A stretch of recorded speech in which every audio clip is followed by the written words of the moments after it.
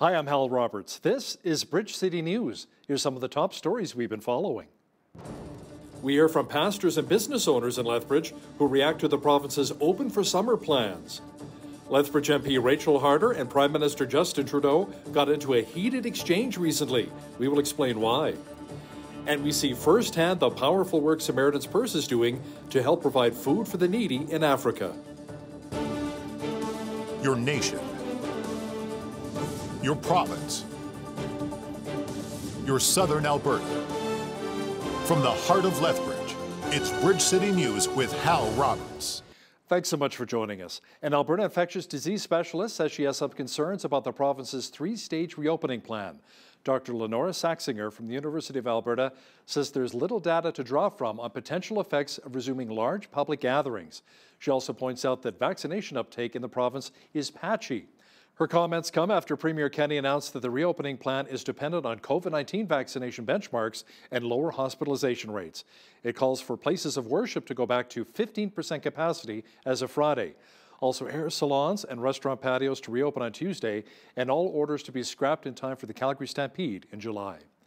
Our legislative reporter Tyler Dawson says NDP leader Rachel Notley also has some concerns about Premier Kenney's open for summer rollout plans this was going to be moving too fast, that it might put us at risk of a fourth wave. Now, the government, of course, responding by saying that, look, we've looked at the data in other countries, in Israel, the United Kingdom. Uh, this is based on the science and things like that. So, so it, it is a faster opening plan, I think it's fair to say, than other provinces. Um, but the government seems pretty uh, pretty sure they've got the science right on this one.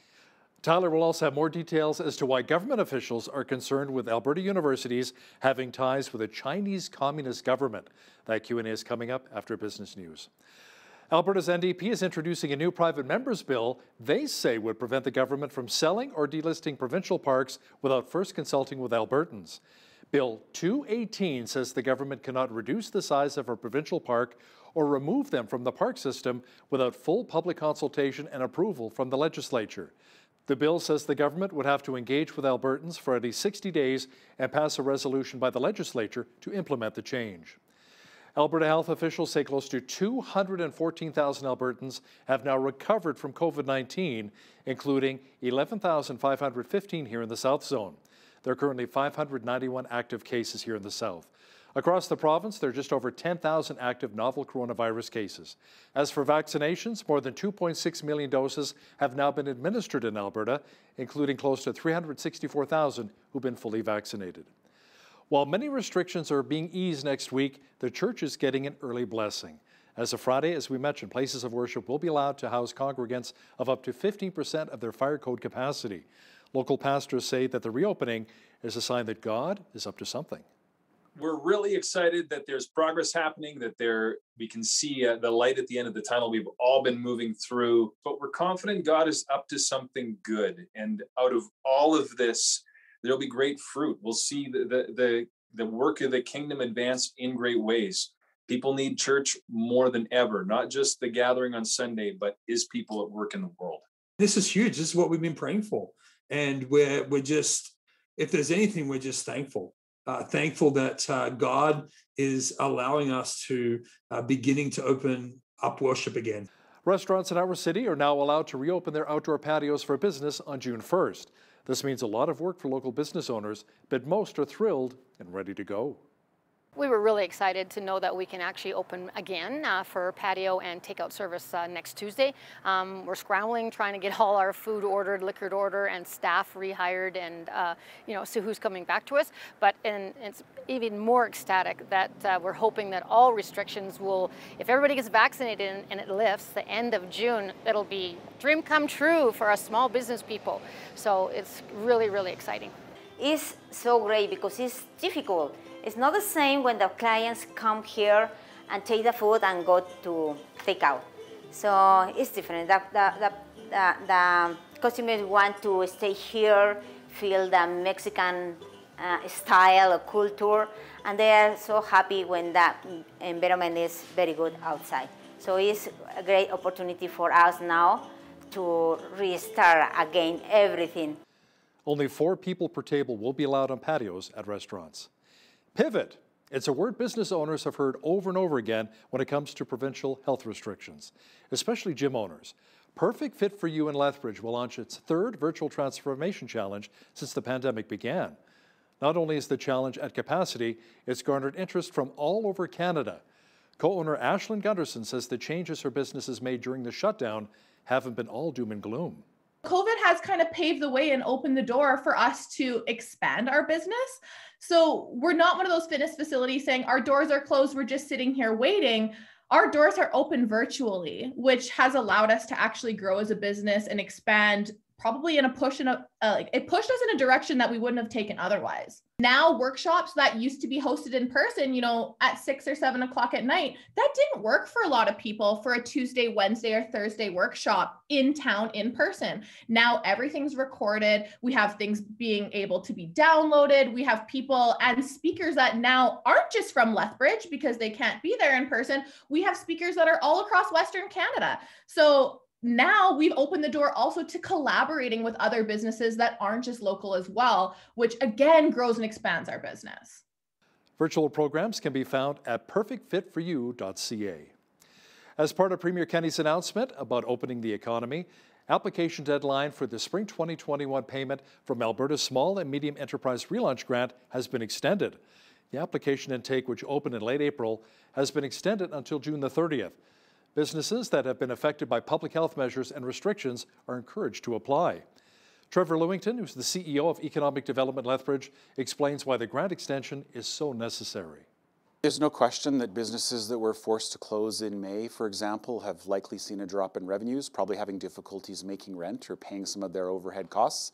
And that's really what this grant is for, is to recognize that uh, many people have had to close their doors through no fault of their own other than to comply with provincial health requirements. And so the government's trying to make these funds available to help soften the blow and help businesses get back on their feet and ready to relaunch as uh, those restrictions are expected to end in the next couple of weeks.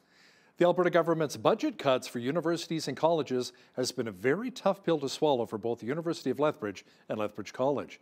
According to the budget, post-secondaries in our province are expected to lose around 750 full-time jobs in the 2021-2022 school year.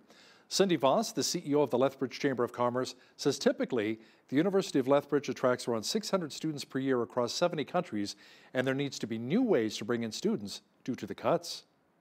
One thing that I, that I, that I'm hoping to see, um, and I know the university has partnered with other universities and and and doing exchange programs. So, for example, my um, my son is is looking at going to the Netherlands next year um, to possibly uh, do a semester there.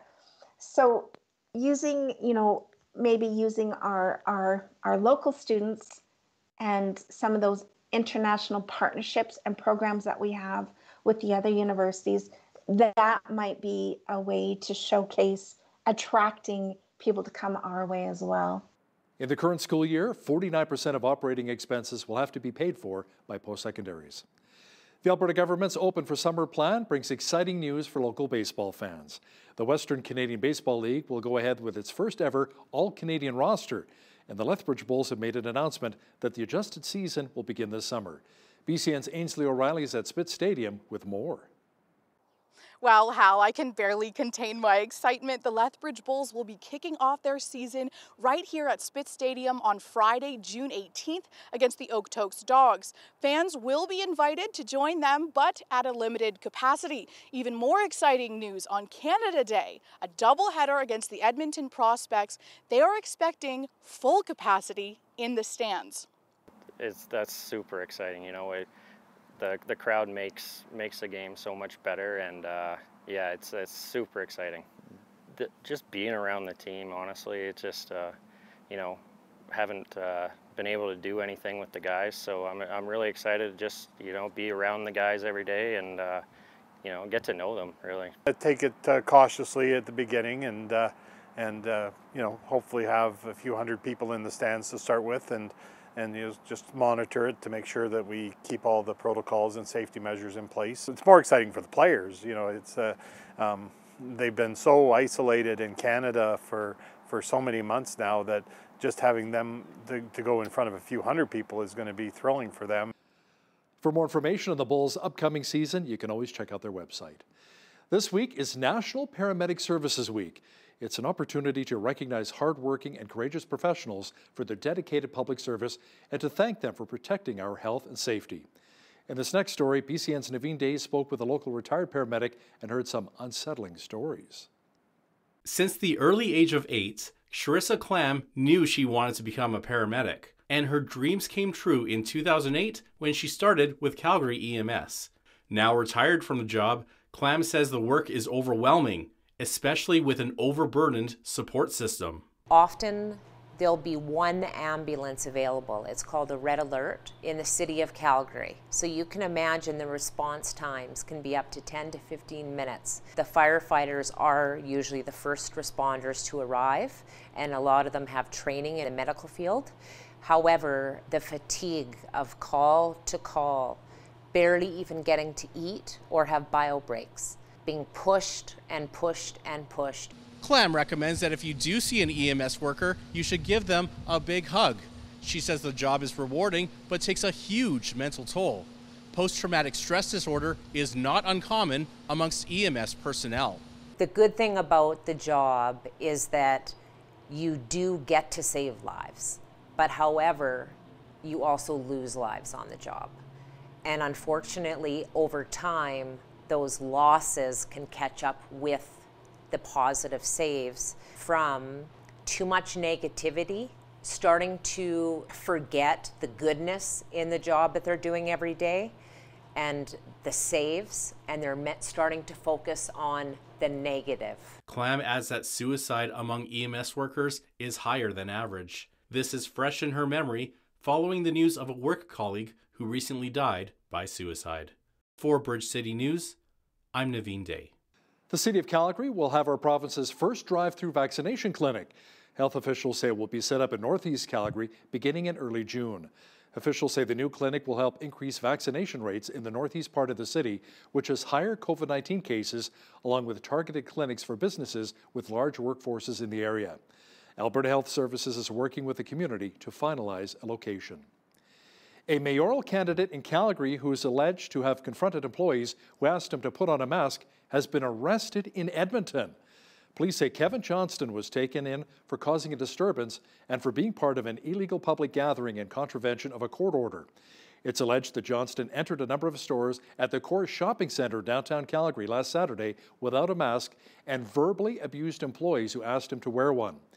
He reportedly left the stores and returned with other unmasked patrons who also apparently verbally confronted the employees. Alberta wildlife officials are investigating a death that appears to have been caused by a bear attack northwest of Calgary. Alberta Fish and Wildlife says it was alerted to the fatality Wednesday night on private land southwest of Water Valley. It says officers are still determining the identity of the bear, but a grizzly with a cub was spotted earlier in the area showing aggressive behavior. Officials say traps have been set up, but are warning people in the area to take precautions when heading outdoors. Edmonton Oilers general manager Ken Holland said any racist comments directed toward defenseman Ethan Bear are totally unacceptable and disgusting. Holland says he was told about the issue just before his season-ending address to the media on Wednesday.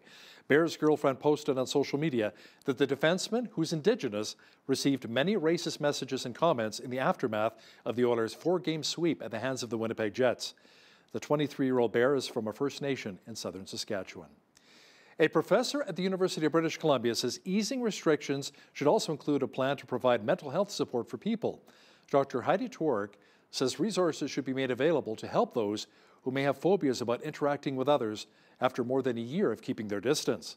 She says communication is vital for health officials to explain and reassure people on why the reopening plan is safe and will work. BC imposed restrictions at the end of March on indoor restaurant dining and group fitness while reversing a plan to allow indoor faith services as COVID 19 cases continue to climb.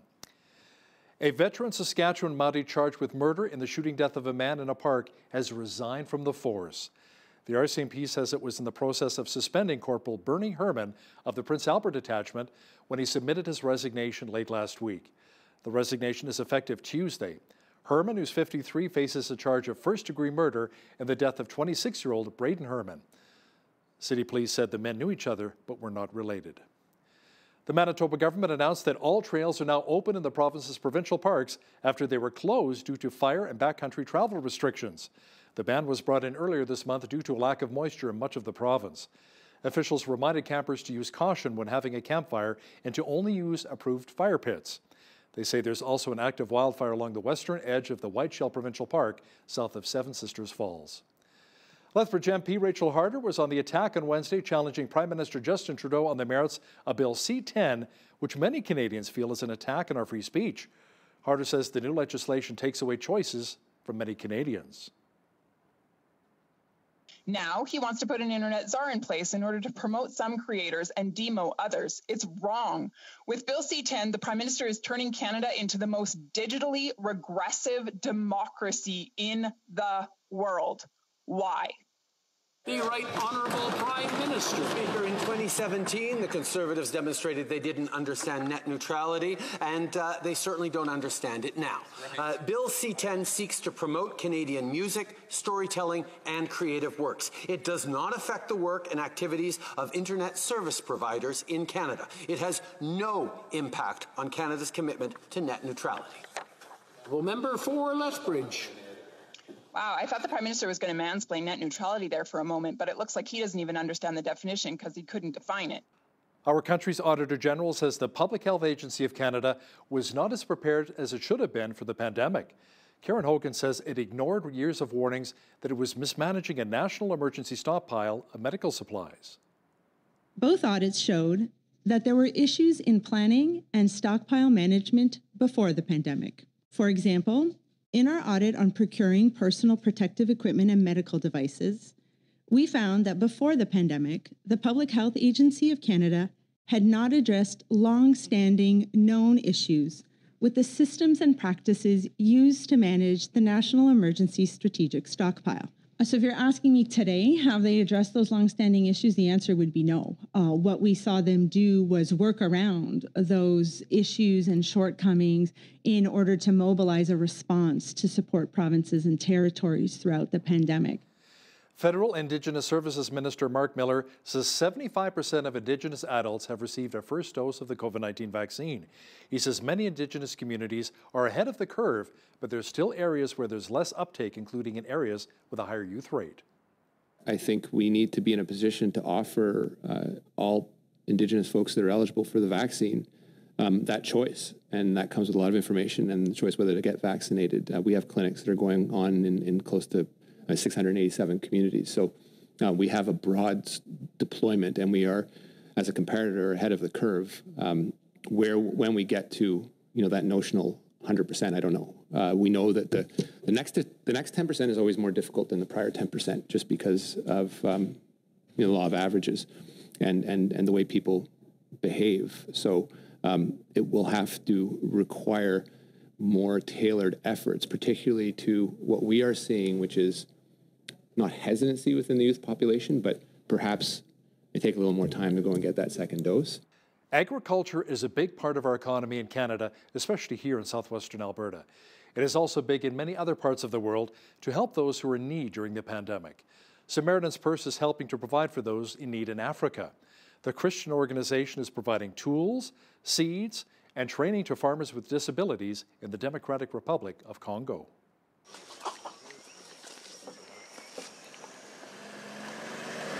We're heading to one of our farmer fields to see the progress of their work. This is a group of farmers who are all living with some sort of physical disability, and they've been able to come together as a group, learn new techniques, and our staff say that this is the best field and farm out of all the other farmers' fields. This integrated food security and nutrition project identifies vulnerable and marginalized families, like people living with disabilities, families with malnourished children, and widows who may have access to farming land but not the tools, seeds, or knowledge they need to improve and diversify their food production. The harvest from these vegetables will provide them with enough food to feed their families, as well as give them an additional source of income niko mwelemavu na ninashukuru Mungu kwa kututumia grupu ya Samaritani kwa kutusaidia katika ulemavu wetu. wanatupatia mimea ya kupanda na wanatuonyesha mafunzo yote namna ya kutia mbegu, na sisi tunafanya sawa sawa, na mbegu inaleta vizuri, na kisha tunalima shamba na shamba vile naona balisa kutuonesha mapando na tunapanda. Na mimea inaonesa mzuri sana, inaleta bien harita. Inaweza kuwa shukurani makubwa sana makusudi wanatufundisha hii elimu yote isa kuingia kukichwa hata wao wakaenda na sisi tunabaki na hiyo elimu huko. Shukurani kabambi sana, wanaleta akili ndani yetu ya kuweza kusaidia jamaa yetu. It's been incredible to see the impact that this program is having. We have witnessed how just providing training and mentorship, as well as seeds and tools, can really make a difference and transform lives. Great to see the work the Samaritan's Purse is doing in Africa. Zig Ziglar was a World War II veteran. He wrote over two dozen books and was an incredible Christian motivational trainer and speaker. Sadly, he passed away at the age of 86 in 2012. Author Chris Stanham says Ziglar was an incredible mentor to him, which helped inspire his ministry he has today. Mr. Ziglar was God's great salesman. You did not need to know Christ to work for his company, but the odds are by the time you left, you would. Even though he was born in Mississippi and uh, raised in, I mean, lived in Texas, was the most colorblind person I'd ever met. And uh, his only promise to me was, he says, keep your eye on the prize and I'll show you colorful hope and we'll be off to the races. And before I knew America had problems, I'd made it. Catch the full interview with Jeanette Roche and author Chris Danham, who will discuss his book Twilight How One Man Gave Unity in a Verse to My Universe. That's coming up later in our program. Well, we had another gorgeous day here in Lethbridge. It was just a few clouds, and it appears as though that more clouds are rolling in, bringing a chance of showers soon. We'll have your complete weather picture for you in just a moment. Yeah, it almost felt like summer today, didn't it? Lots of sunshine and warm air. Jeanette Rocher is back with a complete look at the weather picture. Jeanette, it appears as though a low pressure system is returning, however, bringing more clouds and a chance of rain. Yeah, that's right. We are looking at a brief cooling off period uh, into tomorrow and starting in the weekend. But before we start heading back into that much warmer weather by the end of the weekend and into next week when we get into those 20s. So tomorrow, Friday, we're looking at a 30% chance of showers with a risk of an afternoon thunderstorm. Very windy as well tomorrow, 50 to 70 kilometer per hour winds. 16 degrees is our high. Saturday, we're looking at a high of 19 degrees with a mix of sun and cloud. Then sunshine on a Sunday with a high of 24. So here's where we're starting to get back into those summertime like temperatures 28 for both Monday and Tuesday. And we're looking at a high of 30 degrees for next Wednesday. So that will be lovely. Uh, according to the almanac, the average high for this time of year, 20 degrees, 6 degrees, the average low. 31 was our high temperature back in 1986. And in 2005, we had our lowest, which was minus 2. 5.33 is when the sun woke up this morning and our sunset this evening on our lovely Thursday night will be 9.25 p.m. So more than 16 hours of daylight or right around the 16 hour mark. Into the west coast tomorrow, we're looking at 18 degrees the high for Victoria. Windy in the Juan de Fuca Strait. Sunshine in Vancouver, 16 to the high. We're looking at 5 millimeters of rain roughly in Edmonton with a high of 16. 15 the high in Calgary tomorrow. 30% chance of showers and a risk of an afternoon thunderstorm as well. Those cities looking at wind gusts up to about 40 kilometers per hour. It's going to be a bit windy also in the rest of the prairie. Saskatoon also looking at a chance of thunder showers tomorrow. 22 the high, 19 the high in Regina. A bit windy. These cities looking at wind gusts up to like 50 kilometers per hour. Uh, to, uh, Winnipeg will be about 20 degrees and sunshine. Toronto, though, looking at that temperature there, 7 degrees. They are dropping. Chance of showers. Sunshine in Ottawa, 14 the high. 15 the high in Montreal with a mix of sun and cloud. Now over on the east coast here for Fredericton, Halifax and Charlottetown, all three of those cities looking at a frost advisory in effect for tonight. And so we're going to look at patches of frost. So if you have um, plants on your balcony or your patio, bring them in. Into tomorrow that we're looking at sunshine. So 17 the high for Fredericton, 15 for Halifax, 12 tomorrow the high in Charlottetown and St. John's, Newfoundland sitting at 12 degrees tomorrow with sunny skies. So there you have it. That is your forecast. The chief economist of CIBC says Canada should experience an economic boost as more Canadians are fully vaccinated. Victor Dodig says the U.S. is currently seeing a boom not yet happening in our country, but that it is a tailwind Canada can expect in the second half of this year. His remarks came as CIBC reported a second quarter profit of $1.65 billion. That is more than three times higher than a year earlier at the beginning of the pandemic. The bank says adjusted earnings were $3.59 per diluted share, beating analyst expectations by just over 50 cents a share. Suncor Energy has joined oil sands rival Cenovus Energy in announcing a carbon emissions target of net zero by the year 2050. That is an upgrade from its previous target in 2015 to reduce emissions by 30% by the year 2030.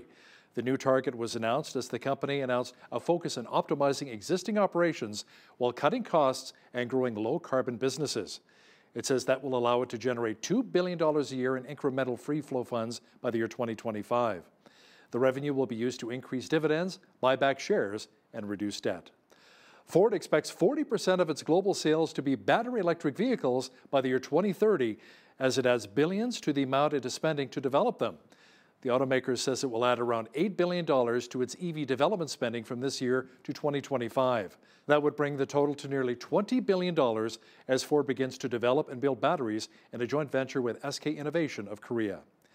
American and Chinese trade envoys have talked over the phone for the first time since U.S. President Joe Biden took office. The two sides, however, gave no sign when negotiations on ending their tariff war might restart. Biden has yet to say what approach he is taking to the conflict that was launched when former President Donald Trump raised tariffs on Chinese imports over complaints about Beijing's policy and trade surplus. China retaliated by suspending purchases of U.S. soybeans and raising tariffs on other goods. Now, here's a look at today's markets. The TSX was up 28 points on the day to finish at 19,774. The Dow was up 141 points to 34,465. The S&P 500 was up 4 points to 4201, and the Nasdaq was down 1 point to 13,736. West Texas Intermediate oil was up 65 cents to 66.86 US per barrel. Natural gas was down 6 cents to 296 US. Gold was up 7 cents to 1896.61 US an ounce, and silver was up a cent to 27.85 US an ounce. Wheat is at $338 per metric ton, Barley's at $344. Canola November future contract is $711, and corn is at $403 per metric ton. Live cattle were down 10 cents to 116.35. Feeder cattle were down 20 cents to 136.30, and lean hogs were up 45 cents to 115.73. The Canadian dollar was down slightly over the past 24 hours to 82.86 US.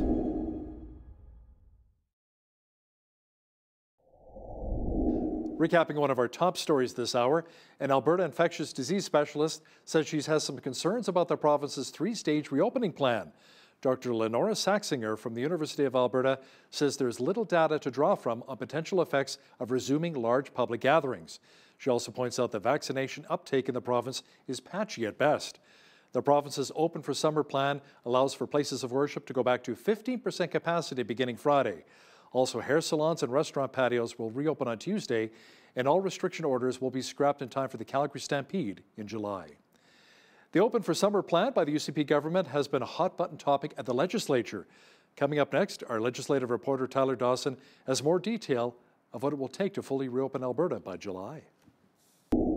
Alberta Premier Jason Kenney recently announced the province's reopening plans. To discuss this in more detail is our legislative reporter and the Alberta correspondent with the National Post, Tyler Dawson. Tyler, it looks like as long as COVID 19 hospitalization rates remain low and more Albertans are vaccinated against the virus, we should be fully open by what, July? Yeah, that's the target the government is aiming for. Premier Jason Kenney promised on Wednesday basically that Stampede's going to go ahead, that we are going to, you know, have a summer that everything's going to be great. So it's a it's a three stage plan. The first stage begins basically Friday actually with with limits on the number of people who are allowed in church services going up to 15% of fire code occupancy. And then Monday is when it really gets rolling with, you know, outdoor patios being reopened and things like that. Um, and then, it, it, as you mentioned, it's all sort of contingent on vaccination numbers and hospitalization. So, so phase one is pinned at 50% of uh, eligible people getting the first dose of their vaccine, which we cleared that on May 18th, I think. Um, then the second one, the second phase is 60%, and the third one is 70%. So things are coming along nicely on the vaccination front. Um, and we'll just have to keep an eye on those hospitalization numbers to make sure they're still uh, still coming down. And I noticed on social media too, people planning for weddings. That's good news for wedding parties as well. If they're having their wedding in August or September, there shouldn't be much of an issue, right? Yeah, exactly. You know, there's always the risk something could go wrong. Of course, Premier, former Premier Rachel Notley, I should say, uh, raised some concerns in the legislature that this was going to be moving too fast, that it might put us at risk of a fourth wave. Now, the government, of course, responding by saying that, look, we've looked at the data in other countries, in Israel, the United Kingdom. Uh, this is based on the science and things like that. So, so it, it is a faster opening plan, I think it's fair to say, than other provinces. Um, but the government seems pretty uh, pretty sure they've got the science right on this one. And so many small business owners are more than happy more excited, and I'm really excited to give them their business as well to see them reopened. Tyler, the province has ordered the suspension of research links to China. The University of Lethbridge here, the U of C, the U of A, and Athabasca University must all report to the province within 90 days their ties to the Chinese Communist Party or the Chinese government. Tyler, let me ask you something. What ties would an Alberta university have with China? Yeah, this seems to be in sort of research partnerships, whether it's a partnership with a, a, firm in China or other universities in China. The government sort of wants to know whether or not there are any, um, not national security implications necessarily, but whether or not there there's the risk of theft of technology, of research, uh, things being developed um, by sort of the Chinese government or the Communist Party. Um, so, you know, there are lots of partnerships going back uh, quite some time between universities and other Chinese universities and research institutes. So, the, the universities have said they're going to do this, they'll look into it and, and report back. Um, but it's going to be interesting to see how this plays out in regards to some of these older relationships that exist. You know, the Li Ka-shing Institute at the University of Alberta, a big institute that's been involved in the fight against COVID 19, with research and things like that, you know, that's funded by a, an entrepreneur in Hong Kong, which is, you know, up, up until, you know, recently uh, was independent, but now really more and more part of China. So it, it, it's perhaps going to have some interesting implications for universities in uh, the weeks and months and years to come. I think I believe I heard as well from Minister Nicolaides, who was talking about the theft of intellectual property. That was a big concern as well. We all know what happened with Nortel way back when. So I can see why the, the government is really concerned about that. Alberta teachers recently passed a vote of non-confidence regarding Education Minister Adriana LaGrange. Tyler, does this really hold any weight, or is this, as the government says, just the union may be playing politics? Yeah, it really doesn't mean much of anything, you know, for for better or for worse, I suppose. We saw this happen last summer actually with Health Minister Tyler Shandro. The doctors had sort of done a similar thing. But it was the the Alberta Teachers Association convention over the weekend. So they talked about all sorts of things, including the draft curriculum and um, and they took this vote on on LaGrange, and something like 99% of teachers uh, said they didn't have confidence in her. So of course, the New Democrats picking up on this, using it as a bit of a a club against the United Conservatives, but they're saying no, this is playing politics with our kids' future. Um, you know, this isn't a non-confidence vote uh, that you know topples a government or something. They're just saying, no, we don't we don't like the education minister very much, and would perhaps like her to leave. You know, let's talk about that new draft curriculum as well, which you said many teachers have rejected. But some Indigenous groups have also said that they felt betrayed after seeing more of the draft. Can you explain why? This is a really interesting one. So, whenever criticism of the curriculum has come up, the United Conservatives have said they pointed to a handful of people who they, who they've said have endorsed this curriculum. Now, there's a story this week that basically talked to these people and asked them, you know, what their views were and whether or not they did in fact endorse it. And so there's sort of two things that happened there. The first is a couple people said that look, we saw a summary of the curriculum and it sounded great and so we endorsed that. And then a couple other people said, well, we received hundreds of pages of documents pertaining to the curriculum and had a day or two to um, respond. And so basically what they're saying is, you know, our, our endorsement of this is is not really based on, you know, a full knowledge of the curriculum. And um, they, they, said they feel like they're being tokenized by the government, um, you know, being used to defend it. So a bit of an awkward situation the government's finding itself in. Of course, they, they are now pointing to the fact that this is a draft curriculum. This isn't the final curriculum. It's being piloted in a couple schools this fall, but um, still time for consultation, still time for modification, of course. Tyler, the anti Alberta Energy Inquiry has received yet another extension for filing its final report. This is what, the fourth extension since it was originally due last July? Why the delays? It, it's really hard to say at this point. I mean, the energy inquiry is it's very secretive in a lot of ways. You know, it's not covered by freedom of information requests that journalists often use to get information from government bodies. Steve Allan, the commissioner behind it, has not said very much.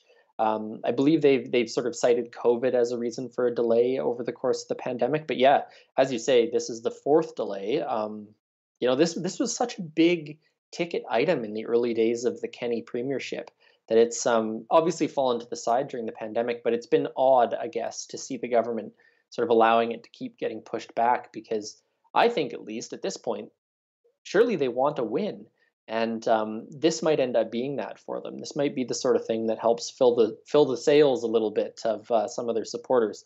Um, but on that front, there is a, a, teeny tiny nugget of good news, which is that EcoJustice, the environmental uh, law group, basically had gone to court to try and shut down the inquiry, saying it, you know, it was brought in, in in bad faith and and was you know attacking charitable organizations, intimidating them, um, and tried to get it shut down, and, and it got tossed out of court. Um, so, you know, there's there's a little bit of a, a clearer path forward for the inquiry. At this point, at least, it's, uh, uh, just a question of when they're actually going to finish their work. You know, has the province found much proof as to the anti-Alberta energy sentiment that's out there by special interest groups? Yeah, well, and that's hard to say, of course, because the government's been sort of repeating the claims made by Vivian Krause, a researcher, for a couple years, and that sort of formed part of the basis of this inquiry. Um, and the government's been obviously saying this for a long time and citing some of that research. And so you have sort of two things happening, of course. On, on one hand, you could point to Krause's research and say, we already know all of this, so why are we doing this again? Or you could say, secondly, Krause's research maybe wasn't that good. We don't like her research, so why are we doing this? Um, so it's a weird scenario all, all around, I would say. And the government has bits and pieces of evidence. Um, but of course, I think they're looking for this sort of grand conspiracy narrative, which is obviously a little bit harder to dig up. Tyler, the NDP is pushing for paid sick leave. Now, when the legislature resumed, NDP leader Rachel Notley and company tried to get an emergency de debate on the subject, but it was promptly shot down by the UCP. Yeah, that happened on Tuesday. So, of course, the NDP is really pushing this paid sick leave thing, you know, even as we're sort of on our way out of the pandemic. Um, and and the UCP has been really reluctant and resistant to do it. Of course, we saw this debate play out in British Columbia and in Ontario as well. And so the NDP clearly thinks that they uh, can make some some political uh, ground up on that. Um, UCP hasn't done it. Um, you know, Kenney has referred to it as a jobs killing policy. Rachel Notley responded basically by saying that this is a this is a life saving policy, not a job killing policy. It came up in question period on Wednesday a little bit, so it's you know one of those issues that I, I don't think anything's going to happen on. Um, you know, unless for some reason we get hit by a horrible fourth wave, I I, I don't think we're going to see movement on it. But for the New Democrats, it's it's clearly a good um, political move to keep bringing it up. The province reintroduced its turn off the taps bill, Tyler. Now, the original had a sunset clause and it expired. And this one apparently excludes gas and does not have an expiry date. Energy Minister Sonya Savage says, what, this is another way we can protect our resources? Yeah, I, I admit I was caught off guard when that was introduced this week because I was like, we already have this. So so what's going on here? But but that's basically the gist of it. You know, they they are reintroducing it because it expired and it's it's broadly similar, other than uh, sort of an exclusion for refined refined petroleum products, so gasoline basically. But um, you know, we'll see if it ever gets used, of course, because it hasn't been used. But that tool is uh, sitting in the toolbox. Yeah, because the uh, the Trans Mountain pipeline expansion, you know, having to go through BC, BC back down. So I think that's originally why they wanted to bring it forth, right, as maybe a threat at that point in time. Tyler, an Alberta MP, got into a little bit of trouble recently and was threatened with being kicked out of the House of Commons. His offense? Wearing an I love oil and gas button, and that's against the rules on the Hill. Yeah, so you know, not specifically an Alberta legislature story, but I, I, do try to keep my eye out for you know fun stuff happening in the world of Canadian politics. And that's right, Martin Shields, uh, I believe the MP from down your way, um, had a "I love Canadian oil and gas" button on his lapel there, and the specific rule in the House of Commons is that you're not allowed to have props. You can't have signs or anything like that. Um, and it's come up a few times in the past. Reform Party MPs apparently used to bring little Canadian flags for their desks and were told they couldn't do that. So, you know, he took the pin off, the button off at the end of the day, and it, it didn't end up being an issue, but um, did, did cause, you know, minor controversy with uh, some some other MPs saying that they have pins that they might like to wear as well, but it's against the rules and so on and so forth. So off the pin came, and he was allowed to stay in the house. That's bizarre, though, how you can't have a Canadian flag on your desk at the Canadian House of Parliament. Like, what? you can't have a Canadian flag. It's very strange. That's true. It is, yeah, it's kind of odd. Our legislative reporter and the Alberta correspondent with the National Post, Tyler Dawson, thanks so much for your time today. Thanks, Al. For any of us who are struggling or discouraged, sometimes it's helpful to hear a good rags to riches story or a story where the unlikely person makes it work out. Today's guest has a great story to share with us. We are joined by Krish Dhanam. He is a highly successful businessman and motivational speaker, founder of Mala Ministries and author of Twilight, How One Man gave unity in a verse to my universe. That's quite a title. Welcome to Bridge City News, Chris. So great to have you on today. Uh, thank you so much for having me. It's a joy. Of course. So you have a fascinating story. Can you share a bit of your journey and how you ended up coming to America from India? Well, of course, you know, growing up in India, one of the aspirations was to get out somewhere and make it. India is quite different now than it was when I was coming up. There were very few opportunities. And so the West was typically the site one would pick. Uh, I ended up going to business school in India and there met and fell in love with a girl who was born in the US but raised in India. So she grew up in India. It was the opposite case. She came back to India when she was two years old. So I told her about my desire to come to America. She says, Well, why don't we both go? And uh, she came over in 1984, brought me over in 1986. So that's the Reader's Digest version of God's great divine plan. now, Krish, you had an encounter with legendary motivational speaker Zig Ziglar. So, what happened? Well, uh, I won a sales contest in 1990. I can think, yeah, late 1989 and the winning prize for the sales contest was a ticket to Mr. Ziglar's seminar in Dallas in uh, 1990 on January 26th. I remember the date, and I went into that. Uh, I went into that seminar uh, looking for hope, like anybody else was trying to scrape and make a living. And even though I had academic qualifications, in three hours, this very simple man, uh, profound, changed my world completely. I left a very determined young man. I, one determination was to somehow find a way to go work for him. And even though I was a branch manager for a company, I quit my job and went to work for him as a telemarketer because that's the only position he had. And uh, the rest was history. We had a union of 17 years, and I crisscrossed the globe with him, wrote a book with him. Yeah. That's amazing. Now, through that, you became to uh, have have a faith in Christ. How, maybe tell us how this happened and what impact this made on your life. Yeah, in, a, in another book called Abstracts to Absolutes, I talk about the fact that Mr. Ziglar was God's great salesman. You did not need to know Christ to work for his company, but the odds are by the time you left, you would. And uh, I was raised an Orthodox Hindu. I grew up in a family that has high priests. I came from that background. And my wife, even though she was a believer, wanted to make sure that my choice in God and my choice in faith would be of my own doing. So my parents would not accuse her of something or would not blame the West or some other thing. So Mr. Ziglar just would casually converse with me and he would offer me everything, but I rejected the faith he was offering. I was happy with the faith of my ancestors. But when my son was born, I invited Mr. Ziglar to come to my son's baptism because my wife said she was going to raise my boy in the faith. And uh, when I asked Mr. Ziglar to come, he said he would if I asked if I answered one question, and that was simply, "Why do you want to send your boy to some place you're not sure you're going?"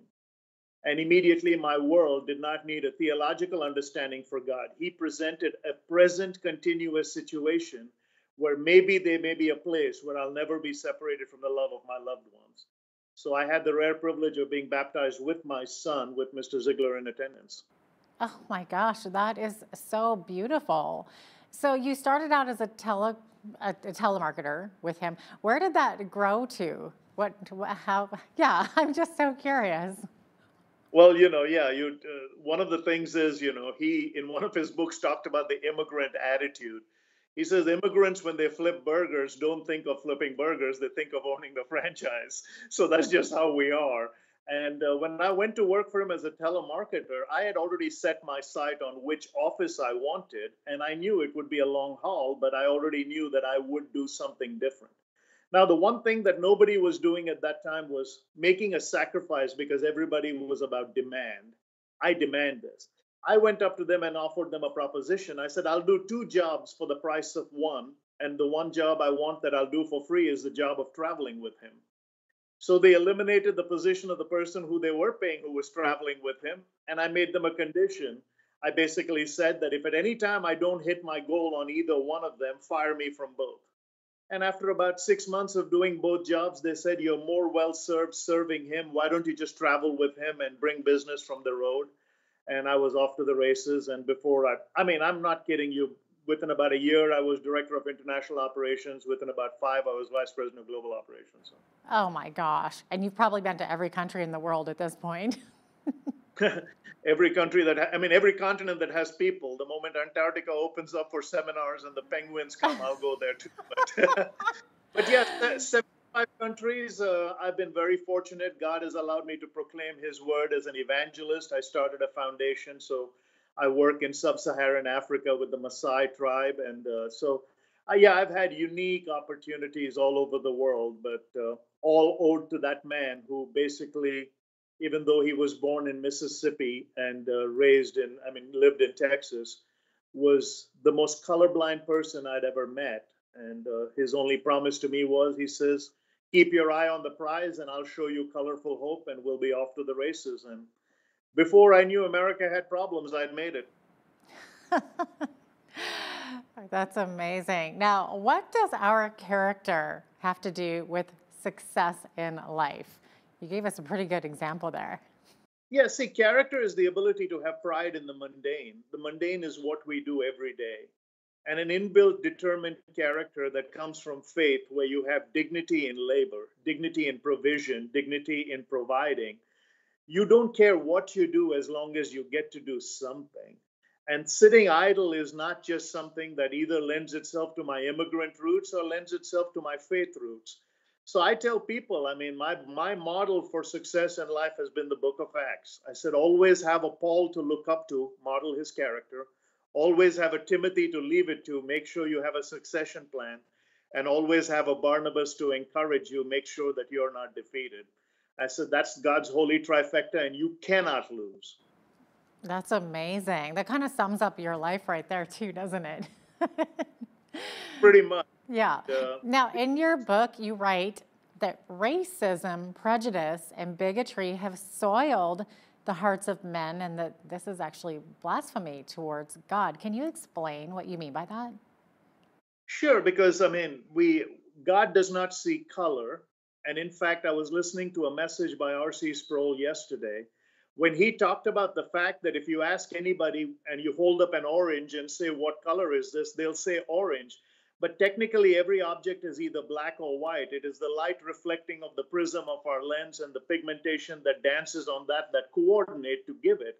So, God in His creation created color so that man would enjoy the beauty of it. And uh, we demean God when we limit our abilities to what we see as pigmentation on skin or prejudice in terms of our heart. Now, prejudice is natural but sometimes we do, we hijack the word to mean other things. If I told people I'm prejudicial towards my bride over anybody else's wife, I'm considered a very good husband. But the word prejudice means a preference for, that's all it is. And we are prejudiced in many different ways. We have preference for our boundaries, we have preference for our family. But I think God's boundary does not include the boundary of color. And that's why Martin Luther King himself said, you know, he says, I refuse to believe that man is bound by the starlit uh, scourge of racism. When he talked about a dream, he talked about a dream that was colorblind. And uh, but you know, going back to your earlier question, it was based on character. And I think unless people go back to the nobility of God's character, we'll continue to see color that our eyes want us to see and not what God wants us to see. Mm-hmm. We live in a time where many people seem to be pushing division rather than unity, don't we? And so, how can we avoid doing this, and what can we do to reverse this destructive trend? And you mentioned the key words unity and diversity. When you look at the word university, that's what it stood for unity and diversity. But right now, our universities are so one sided in what they want to offer you. It is no longer the halls of academia and rhetoric that came out of Greece. It is just a cesspool of ignorance. In fact, yesterday I put, you know, I said, ignorance is not a medal. People should stop wearing it. And if some of the stupid ideas in this world were good, we'd have found out a way to tax ignorance there's a right and a wrong, a yes and a no, a black and a white, and all of this goes back to God's moral law. When humanity moved away from a moral law, they moved away from a moral lawgiver. When they started seeking justice, they wanted human beings to make the decision. And even the great Solomon failed at that. So we need to realize that uh, what we are sowing in our hearts right now in trying to educate people on diversity while it started off as a sensible thing to do, it is actually causing more division because we are now clumping people, and people are only seeing themselves in terms of their identity. And uh, in my book, Twilight, I articulate seven different times when I thought I was marginalized because of my color, my accent, my origin, my roots, my ethnicity. And seven different times he says, No, God does not see you this way, and I'm not going to let you see yourself that way. That's incredible. Now, in your writings, you also suggest that no one on earth has a monopoly on grief, misery, or hardship.